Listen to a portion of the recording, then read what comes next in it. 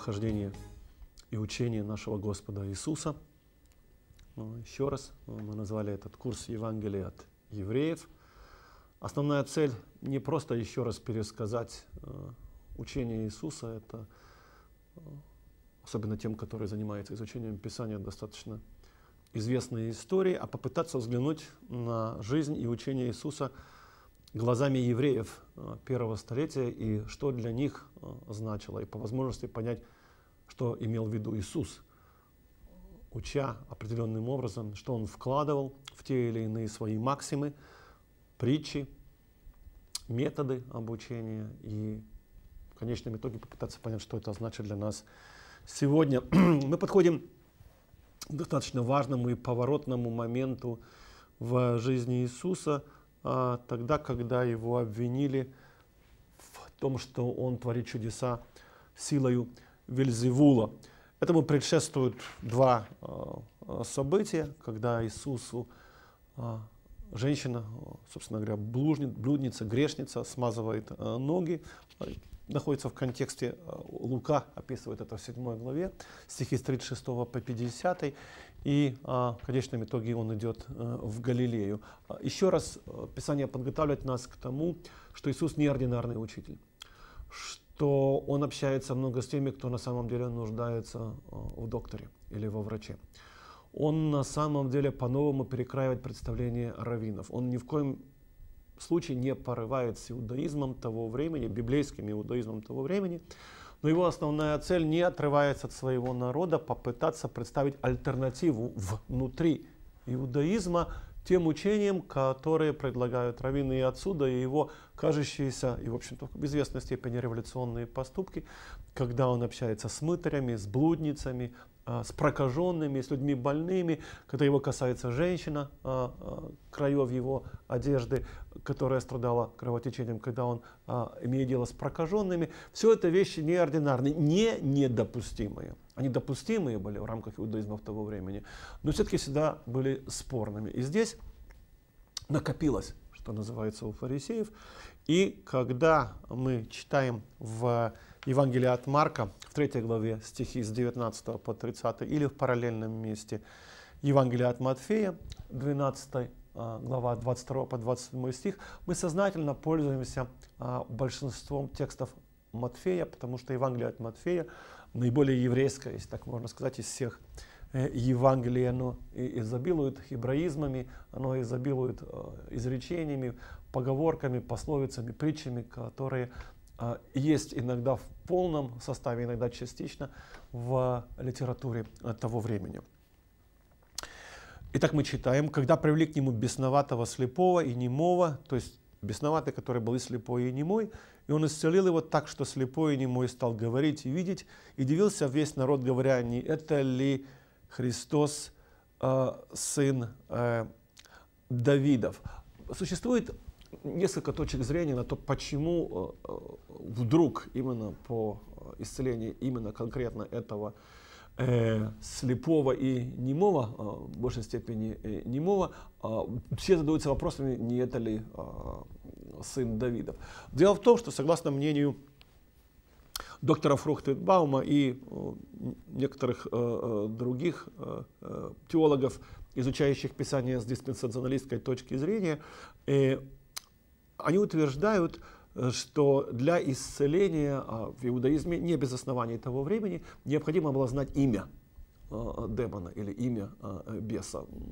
Классический пример, как имя тебе легион. В легионе могло быть от 4 до 6 тысяч э, солдатов, из чего, естественно, диспенсационалисты, которые привержены такой буквальному толкованию Писания, делают вывод, что в этом человеке могло быть от 4 до 6 тысяч бесов. Ну, это вопрос, конечно, спорный, но э, важно другое. Они утверждают, и многие вместе с ними, что в иудаизме того времени для изгнания беса необходимо было знать имя этого беса, что было совершенно невозможно в случае немого человека. Поэтому немой человек мог быть исцелен исключительно только мессией, который мог изгнать беса, не спрашивая имени беса у этого немого э, человека. Так это или не так, э, судить трудно. Но давайте непосредственно к тексту. тексту. Массовое исцеление глухих, слепых, невых утверждает Равин Алекс Бленд, оно связывалось с очищением всего народа, подобно тому, как это происходило во времена э, Синайского откровения. Я почитаю из Бамидбар, Бамидбар это числа, раба Наса 7. И взял книгу Завета и прочитал вслух народу, и сказали они, все, что говорил Господь, сделаем и будем послушны. Ну, мы знаем это из текста э, Писания, из книги Исход, 24 главы 7 стих. Наасе венишма на иврите. Сделаем и послушаем. А откуда известно, задается автор э, вот этого отрывка, я имею в виду не Писание, а Бамидбар Рабана Са 7, откуда известно, что не было среди них глухих? Из того, что сказано, будем послушны, то есть будем слышать. Откуда известно, что не было среди них слепых? Из того, что написано, а весь народ видел громы и пламя. А из чего известно, что не было среди них немых? Из того, что сказано, и отвечал весь народ вместе, говоря. Таким образом, утверждает автор, мы приходим к выводу, что все были исцелены. А если этого недостаточно, то можно выучить из другого места, из сказанного, «Ни одной из болезней, которые я навел на Египет, не наведу на тебя, ибо я Господь, целитель твой, Рафа, Эль, Рафаил. Да? Вот свидетельство того, что все были исцелены. Но после того, как сотворили то действие с тельцом, снова стали поражены болезнями. Как сказано, и увидел Моисей народ, что он развращен, исход 32, 25. А слово развращен может означать здесь только поражен проказой. Как сказано, у прокаженного, на котором эта язва, одежды должны быть разорваны, голова должна быть не причесана, то же слово, что и развращен. Не причесан, развращен. И до усов должен он закутаться и кричать «нечист, нечист. Сказал Всевышний Маше или Моисею, пока не построили вы скини, я терпел подобные вещи, и были среди вас прокаженные и имеющие истечение. Теперь же, после того, как вы построили скинию, вышлите за стан всякого прокаженного, истекающего и осквернившего душу, чтобы я мог пребывать в вас. Поэтому исцеление слепо немого, вот, оно было воспринято как знамение восстановления общей чистоты в Израиле, так же, как во времена Синая. Реминисценции с Синаем или с Моисеем, они э, всегда необходимы, когда хотят показать некий духовный апофеоз народа Израиля. Фарисеи же, Прушим, услышав сие, сказали, он изгоняет бесов не иначе, как Вельзевулом э, или силою Вельзевула, князя бесовского. И Вельзевул Бааль Звув, вероятно, является намеренным искажением имени, имени Бааль Звулун. Это известное имя э, языческого э, бога. Э, надо понимать, что здесь игра слов. Бааль Звув – это бог мух. Бааль Звулун или Бааль Зевель – однокоренные слова. Зевель обозначает мусор игра слов, которые Баль Звулун, Баль Зевель, отсюда Баль Мух или господин Мух – Вельзвув, Бальзвув, это игра слов, которая позволяла евреям считать, что мухи, совершенно справедливо, являются символом нечистоты и предвестником э, э, э смерти. Собственно, имя Баальзвуф или Вельзвуф, оно воспринимается Иисусом тоже как эфемизм или как распространенное название для э, сатаны. Поэтому вот отсюда Вельзевул. Да? Но Иисус Зная помышления их, сказал им, всякое царство, разделившееся само в себе, опустеет, и всякий город или дом, разделившийся сам себе, не устоит. Если сатана сатану изгоняет, то он разделился сам собою, как же устоит его а, царство? Э, источник Дерех Аарец, 7.37, Дерех Арец 7.37, так говорит о разделении. Я постоянно буду приводить эти отрывки, чтобы у вас э, возникла устойчивая ассоциация, что все, что говорит Иисус и чему Он учит, оно не возникло на пустом месте. Это не вакуум. Это то, что варилось и бурлило в рамках или внутри иудаизма. Итак, Дерех Арец 7.37. Город, в котором есть разделение, будет разрушен. А мудрецы говорят, разделение в городе – кровопролитие. Синагога, в которой есть разделение, будет разрушена. Дом, в котором есть разделение, будет разрушен. А мудрецы говорят, разделение в доме – это разврат.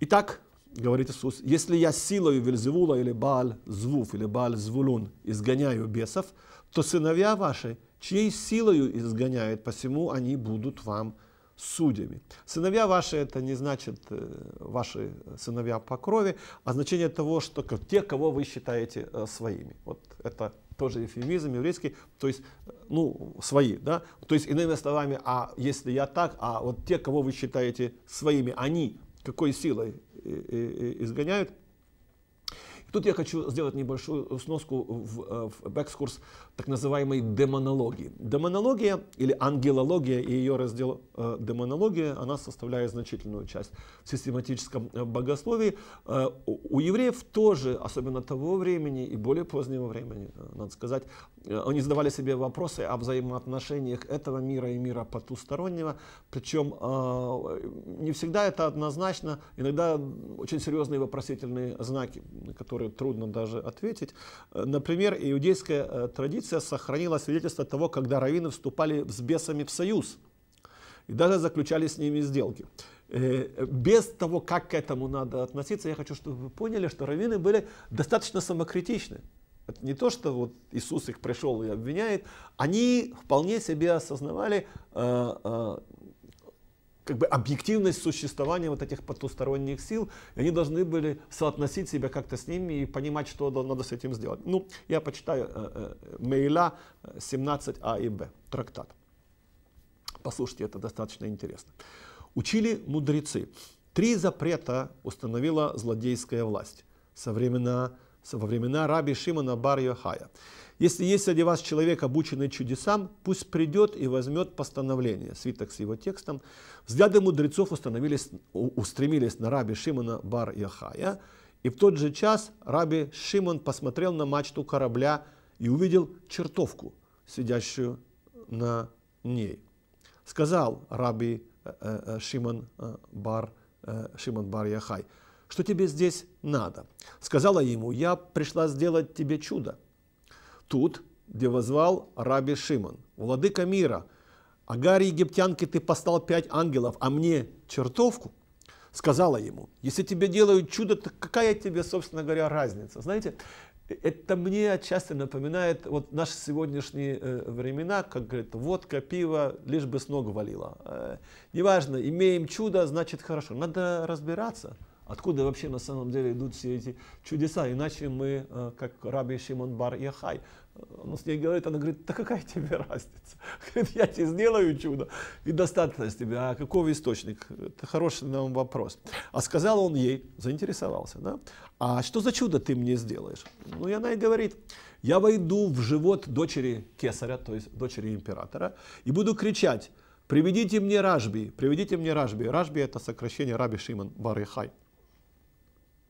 Тогда ты придешь и пошепчешь в ухо цесаревны, то есть э, царевны, и я выйду.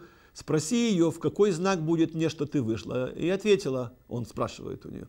Она ответила, в момент, когда я выйду, все стеклянные сосуды в доме кесаря разобьются. И сказала, иди так и сделай, как ты говоришь. То есть договорился с ним. Другая версия этого же рассказа. Пошла чертовка и вошла в дочь кесаря, и стала там вопить и кричать, приведите ко мне Ражби, приведите ко мне Ражби раби Шимона бар Яхая. И послал за раби Шимон в страну Израиля, но она сказала им, вот он приближается на корабле, вышли и встретили его, привели к царю. И сказал ему царь, ты Ражби? Он сказал, да. Сказал, ты вылечишь мою дочь? Он ответил, да. А как ты сделаешь это? Он говорит, я пошепчу ей в ухо, и бес выйдет из нее. И добавил, а знаком тому будет, что все стеклянная посуда в твоем доме разобьется. И в тот же час пошептал раби Шимон в ухо цесаревны, и вышла из нее чертовка, и вся стеклянная посуда в доме разбилась. И сказал кесарь, что ты просишь в награду, чтобы я дал тебе? Ответил раби Шимон, не прошу тебя дать мне что-то, но вели отменить свое постановление. И те гонцы, что несут его в страну Израиля, да будут убиты. Тут же отменил царь запреты и вынес новое постановление, и гонцов с ним послал в страну Израиля. Ну вот такой противоречивый текст. Э, в результате как бы были даже э, отменены запреты для израильтян. Э, как к этому относиться? Ну, наверное, противоречивые чувства. Без анализа, плохо ли, хорошо ли, чертовка, понятно. Но, тем не менее, у нас есть достаточно много свидетельств в еврейской литературе о том, что это было, э, ну, к сожалению, нормальное явление, вот это вот э, общение между раввинами и нечистой э, силой. Понравилась лекция? Вдохновились услышанным? Поддержите нас молитвой и финансами. Информацию, о чем молиться и как пожертвовать, вы можете найти на сайте tvseminary.com. Иосиф Флавий, тоже э, этот Яу, пишет, приводит интересное свидетельство распространения изгнаний бесов или экзорцизм и способов, которые это делалось. Для тех, кто не знает, Иосиф Флавий – это еврей, э, знатный, э, один из генералов, который был захвачен римлянами и позднее стал известным как римский еврейский историк. И вот он пишет. В бывшем дворце росла рута поразительных размеров, не уступавшая ни высотой своей, ни объемом фиговому дереву. Говорят, что она стояла со времен Ирода, и она, быть может, еще долго бы существовала, если бы иудеи при занятии э, Махера не срубили ее. В долине, примыкающей к городу с севера, находится место, называемое Ваора. И там произрастает корень того же имени. Последний имеет огненно-красный цвет и по вечерам испускает от себя лучи. Его очень трудно схватить, так как он как будто убегает из-под рук, и только когда остается в покое, когда его поливают уриной от женщины или ее месячной кровью. Но и тогда прикосновение к нему влечет за собой верную смерть, если его не несут таким образом, чтобы он свешивался с руки. Существует, впрочем, и другой безопасный способ для овладения этим корнем. Сначала его окапывают кругом до тех пор, пока только маленькая часть корня остается еще в земле. Затем привязывают к нему собаку. Когда последняя быстро устремляется за человеком, привязавшим ее, корень легко вырывается, но собака умирает на месте, как заместительная жертва за того, который хотел взять растение, а тогда его можно уносить без всяких опасений. Стоит, однако, подвергать себя опасности и трудиться над добыванием этого растения из-за присущего ему следующего свойства. Так называемые демоны, то есть духи злых людей, вселяющиеся в живущих и убивающие всех тех, которые остаются без помощи, немедленно изгоняются тем корнем, как только подносят его близко к больному. Это он пишет в Иудейской а, войне, а, 7 глава. Есть еще отрывки, э, но они достаточно э, длинные. Э, суть в том, что на самом деле э, вот, вот эти вот э, системы взаимоотношений, выстроенная э, э, во времена Иисуса между э, руководителями духовными или вообще духовностью израильтян. И потусторонним миром была достаточно развита, поэтому обвинение, выдвинутое Иисусу в виде того, что вот он исцеляет или изгоняет бесов силой Вельзевула, оно вполне было в контексте того, что древние израильтяне думали по этому поводу.